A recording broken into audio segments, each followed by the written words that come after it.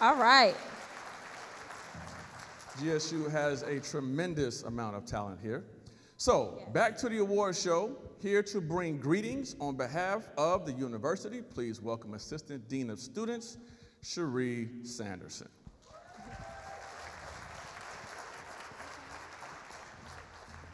Testing, testing. Good evening, everyone. How are we today? Oh, come on, you could do better than that. All this entertainment, we lined up. On behalf of Dr. Elaine P. Maimon, who could not be with us tonight, and our provost, Deborah E. Bordelon, who is actually one of the presenters this evening, we'd like to welcome you to your GSU. Give yourselves a round of applause for being here.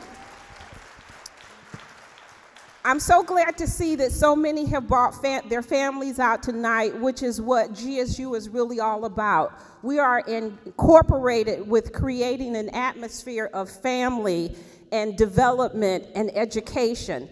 And one of the things that if you have not uh, been part of GSU before, most of the people that you see on this stage that will pre be presenting are either faculty, deans, the provost, or students who have graduated or current students who are now here.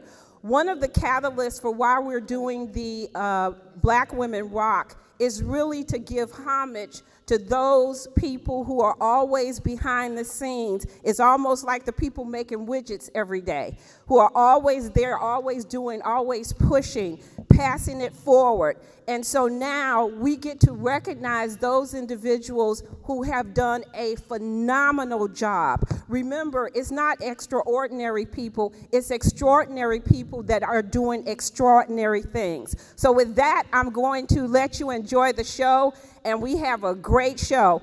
So, thank you for coming.